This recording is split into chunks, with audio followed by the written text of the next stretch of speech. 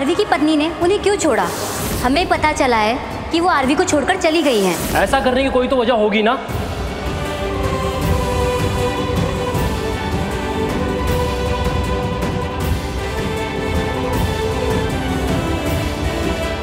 क्या करने आई हो यहाँ?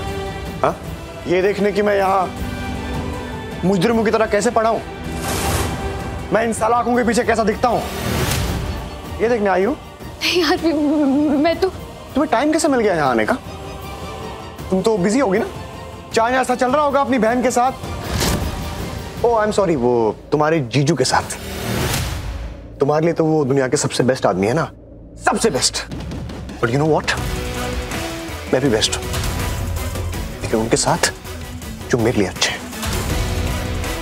तुम्हारी तरह नहीं अरे, मैंने क्या किया? तुमने क्या किया?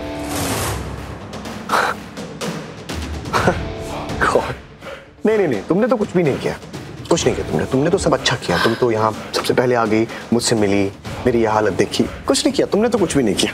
अरबी मैं आ ही रही थी। क्यों आया मेहरबानी नहीं चाहिए मुझे। समझी तुम? नहीं चाहिए! कोई ज़रूरत नहीं ऐसे लेट आने की और ये सब दिखाने की।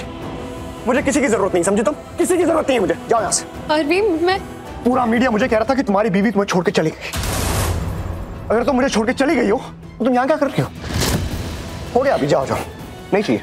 जाओ जाओ जाओ नहीं जाओ जाओ प्लीज़ से। मेरी बात प्लीज़ सुनो जाओ जाओ अभी जाओ। नहीं मैं नहीं जाऊँगी आरवी जाओ घर। आरवी प्लीज़ सुना नहीं मैंने क्या कहा?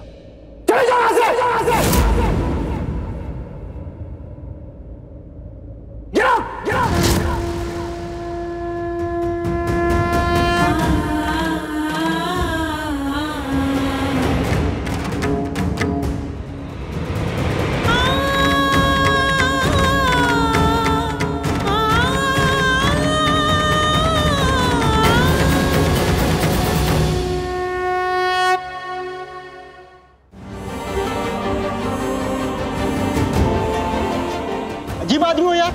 तुम्हारे पास दिल है कि नहीं? उस बेचारी का एक्सीडेंट हो गया था।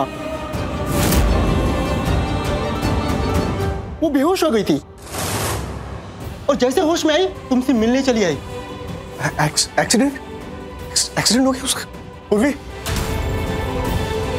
मैंने क्या कर दी मैंने उसकी बात तक नहीं सुनी। मुझे उसका ऐसा नहीं करना चाहिए था। करना चाहिए तो। पूर्वी। पूर्वी। पूर्वी। पूर्वी। प्लीज़ कोई पूर्वी को बुलाओ। प्लीज़। प्लीज़ कोई मेरी बात सुन रहा है। उस लड़की को बुलाओ, प्लीज़। पूर्वी। पूर्वी।